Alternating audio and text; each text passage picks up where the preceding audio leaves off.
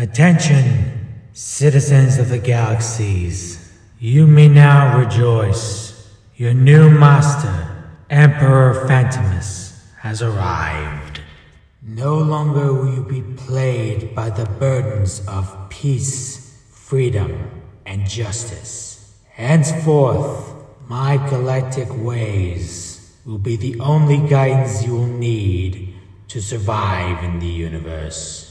Embrace the galactic collusion course and be granted by the reward of immortality. Or resist and be faced with the deadly consequences of extinction.